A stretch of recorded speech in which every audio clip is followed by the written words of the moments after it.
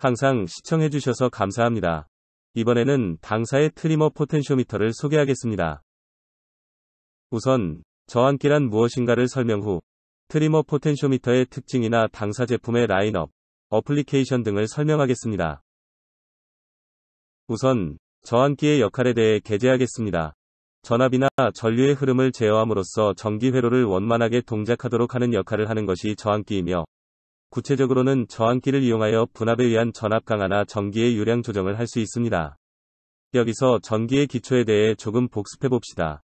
하천의 움직임을 예로 하여 쉽게 해설합니다.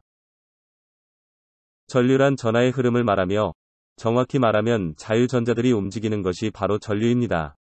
전압은 별명, 전이차라고 하며 전이차가 생기면 그 균형을 되돌리려고 전류는 전위가 높은 곳에서 낮은 곳으로 흐릅니다. 이 그림에서는 전류를 강물의 흐름과 그 흐름을 따라 이동하는 물고기에 비유하고 또한 전압을 강의 흐름을 만드는 폭포와 강의 경사에 비유하고 있습니다. 폭포가 크면 클수록 경사가 급하면 급할수록 강은 물살이 빠르게 흘러내립니다. 전류와 전압의 관계도 마찬가지이며 전위가 높으면 높을수록 전류가 세게 흐릅니다. 건전지를 두 개 직렬 접속한 후 콩전구를 켜면 건전지가 한때보다 밝게 빛나지만 건전지를 병렬 접속하면 건전지 하나 때와 밝기는 변하지 않습니다. 이것은 직렬에서는 전위가 두 배의 높이가 되지만 병렬 즉 수평 배열에서는 하나하나의 전지의 전위는 변하지 않기 때문입니다. 전기 저항을 가한 형태도 하천으로 대체한 후 보겠습니다. 우선 방수로를 마련해 강을 분기시키는 것은 강물의 흐름의 기세를 떨어뜨리는 작용이 있으므로 전기로 말하는 분압하여 전압 강화시키는 상태와 비슷합니다. 한층 더 그림을 진행합니다. 도중에 큰 바위에 의해 강물의 흐름이 좁아지고 강을 내려가고 싶은 물고기도 이동하기 어려운 것 같습니다. 이 바위와 마찬가지로 전기의 흐름을 어렵게 하는 방해 요소가 전기 저항입니다. 전기 저항이 클수록 전류가 잘 흐르지 않습니다. 여담이지만 물고기가 바위로 좁혀진 곳을 얼굴을 붉게 하고 필사적으로 수영하는 것은 저항으로 인하여 열에너지가 발생하는 것을 나타내고 있습니다. 전류가 일정하게 흐르는 회로에서는 저항이 클수록 전기의 흐름을 방해하는 정도가 더 크기 때문에 열에너지가 더 많이 발생합니다. 마지막으로 응용편입니다. 전력이란 단위 시간당 전류가 할 수 있는 일의 양을 말하며 단위 시간에 소비되는 전기 에너지를 말합니다. 전력에 대한 공식은 전력는 전압 곱하기 전류라고 하는 계산식으로 나타낼 수 있습니다. 하천에 의한 혜택으로서 논에 물을 퍼올리는 농기구 수차나 쟁이 어업이 이 전력에 해당한다고 말할 수 있습니다. 그럼 오늘의 주제로 바로 넘어가 볼까요? 전압과 전류의 비율인 저항값을 고정하는 것을 고정 저항기라고 합니다. 반대로 가변 저항기는 세트의 패널면에 노브를 달고 사용자가 돌릴 때 저항값을 변동시킬 수 있는 것으로 여러 번 설정을 반복한다고 상정하고 있습니다.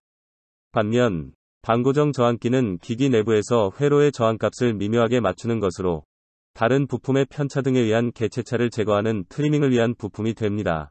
그러므로 설정되는 횟수는 적습니다.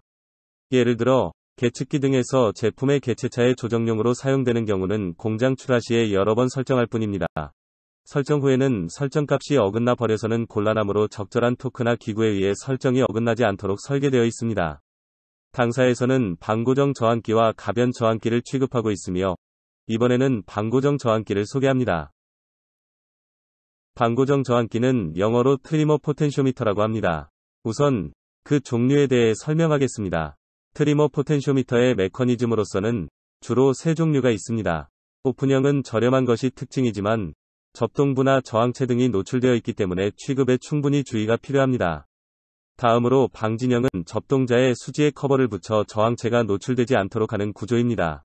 회전 부분에 오링을 넣는 등 어느 정도 밀폐성이 있는 제품도 있지만 접동 범위에 이물질이 부착될 가능성이 있으며 납땜 후에 세정도 할 수 없습니다. 마지막으로 밀폐형입니다. 접동자를 고정한 로터를 저항체의 끝에서 끝까지 1회전하여 조정하는 단회전형과 이속 나사를 여러 번 회전시키는 다회전형으로 나뉩니다. 밀폐형은 저항체, 접동자 등 전기적으로 중요한 부분이 외기와 차단되어 있기 때문에 내환경성이 뛰어나 지정의 세정 방법에 따라 세정도 가능합니다. 당사는 밀폐형 trimmer potentiometer에 특화되어 있습니다. 다음으로 trimmer potentiometer의 사용 방법입니다. 그림 A의 전압 조정형과 그림 B의 전류 조정형이 있습니다. 전압 조정형의 사용이라면 최고의 성능을 발휘하므로 이 방법으로 사용하실 것을 당사에서는 추천하고 있습니다. 그림 B의 전류 조정형의 경우 저항체나 접동부가 접촉 저항의 온도 계수에 반영됩니다. 또한 저항값이 작아지면 상대적으로 슬라이딩 부의 저항의 영향이 커지므로 주의해서 사용할 필요가 있습니다.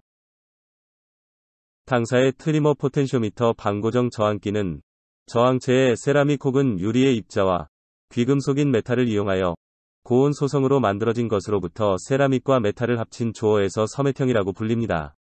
밀폐 구조를 특징으로 하여 고품질 고신뢰성을 실현하고 단회전 타입에서 다회전 타입까지 풍부한 라인업으로 표면 실장 대응은 물론 공간 절약화의 요구에도 대응할 수 있는 초소형 박형 타입도 갖추고 있습니다. 다음에 섬액형과 다른 저항 소자를 비교한 테이블입니다.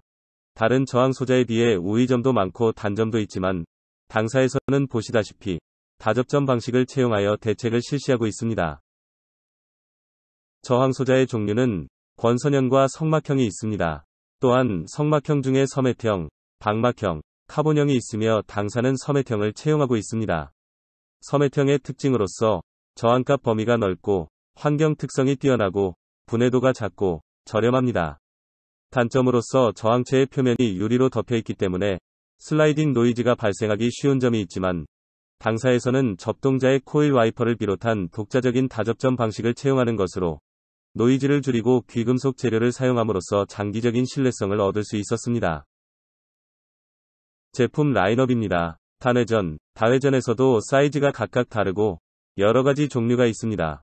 또한 스로홀 타입, 표면 실장 타입이 있고 단자 배치나 단자 형상에 있어서 풍부한 종류를 갖추고 있습니다.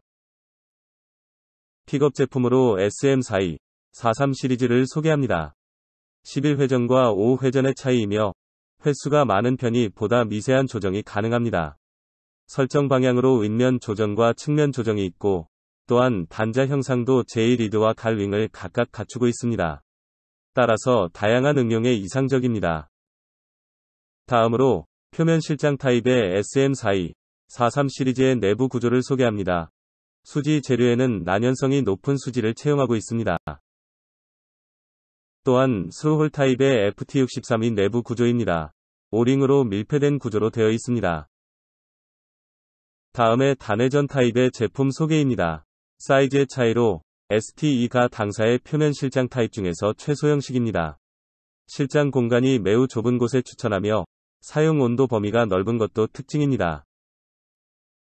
이번에는 표면 실장 타입의 다회전 제품이 됩니다.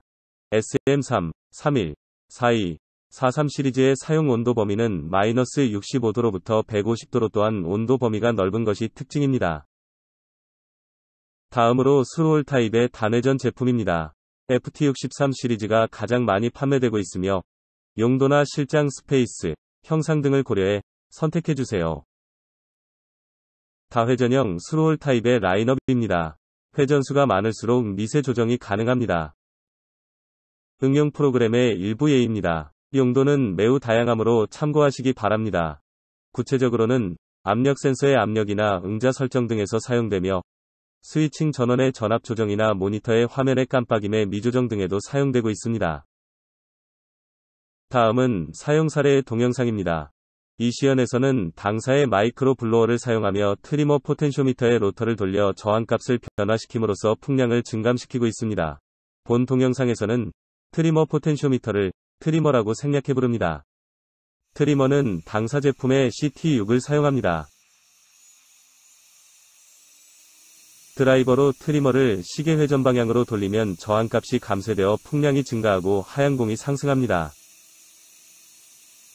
반대로 드라이버로 트리머를 시계 반대 방향으로 돌리면 저항값이 증폭되어 풍량이 줄어들고 하향공이 하강합니다. 이와 같이 트리머를 사용하여 풍량을 조정할 수 있었습니다.